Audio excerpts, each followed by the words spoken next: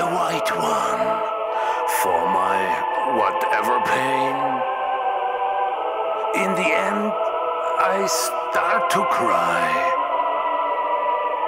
So I take the first again. I have a last one, and I hope to die.